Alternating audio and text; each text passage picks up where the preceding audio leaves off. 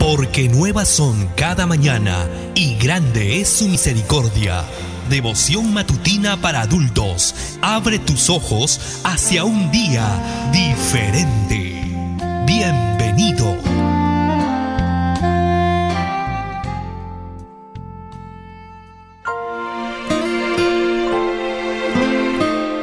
Hola a todos, te saluda tu amiga Merari. Llegamos a día martes y como muchos recordarán, martes y jueves nuestro ministerio está teniendo cadenas de oración. Únete con nosotros, pidamos al Espíritu Santo que interceda, que toque vidas y corazones que se rindan a nuestro Dios, que podamos cada día ser transformados a su imagen. Para el día de hoy, quiero enviar un saludo muy especial para Jaime Galeano, quien es director de Freedom International Radio.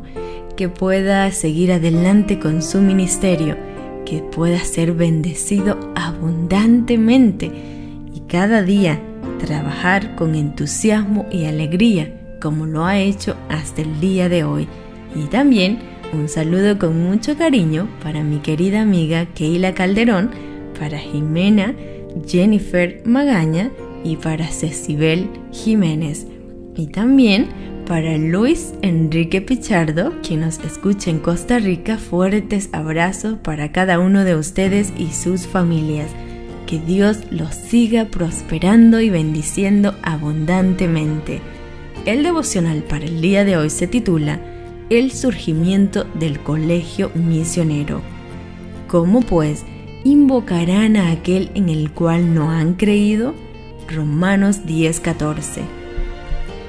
Esa es una buena pregunta y tanto la comunidad cristiana en general como los adventistas del séptimo día en la década de 1890 comenzaron a tomar medidas sin precedentes con el propósito de difundir las enseñanzas de la palabra de Dios como el semillero de la fe, parte de la preparación para la misión más amplia entre los protestantes fue la creación de colegios misioneros e institutos bíblicos. Esos colegios aspiraban a preparar una gran cantidad de obreros lo más rápido posible para los puestos misioneros de avanzada nacionales y de ultramar. Las nuevas instituciones se centraban en la capacitación práctica y el conocimiento bíblico. El primer colegio de este tipo surgió en 1883 como el Colegio de Capacitación Misionera para misioneros y evangelistas nacionales y extranjeros. Los acontecimientos dentro del adventismo se comparan con los del ámbito evangélico educativo, por lo tanto, la extensión misionera tuvo un efecto directo en la expansión de la enseñanza de nuestra iglesia. John Harvey Kellogg aparentemente fue el primer adventista en fundar un colegio misionero. Estableció el Sanatorio Escuela de Capacitación para Médicos Misioneros en 1889, seguido por el Colegio de Médicos Misioneros Norteamericanos en 1895. Mientras tanto, el Colegio Avondale para Obreros Cristianos 1894.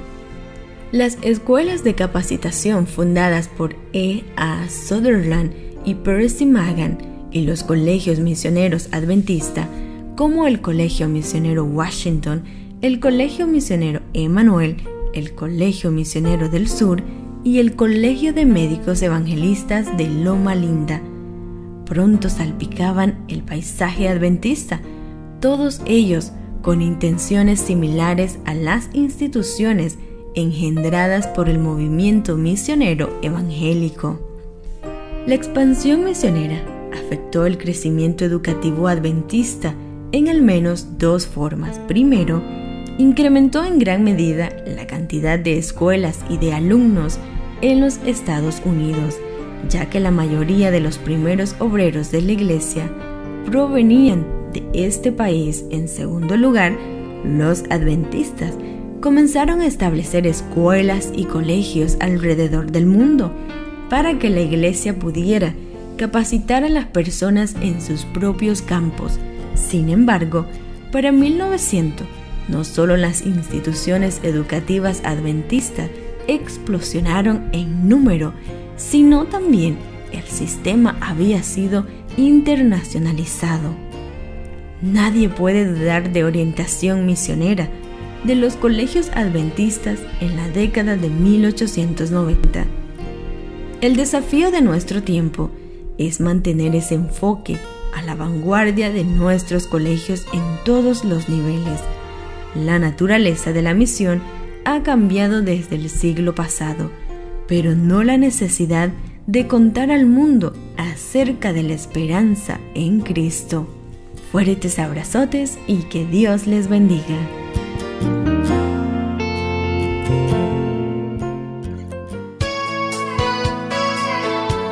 Gracias por permitirnos ingresar a tu hogar, tu auto, oficina o trabajo. Devoción matutina para adultos. Volveremos pronto para seguir conociendo más bendiciones para tu vida. Esta fue una presentación de Canaan Seven Day Adventist Church y DR Ministries. Escríbenos a d-ramos28 hotmail.com. Te esperamos.